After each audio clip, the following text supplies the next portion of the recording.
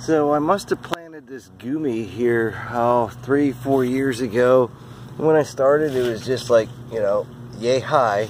Never had an idea it would grow this big. But it fits into this landscape real nicely here, into this ditch on contour that I've dug all the way around, and I've got a second one anchoring the yard this way here. You see how that's grown up. I've got so many goumi, I don't care how many birds come in and eat them. Um, I'm picking enough for myself and I'm really the only one that'll eat them and like chewing on them.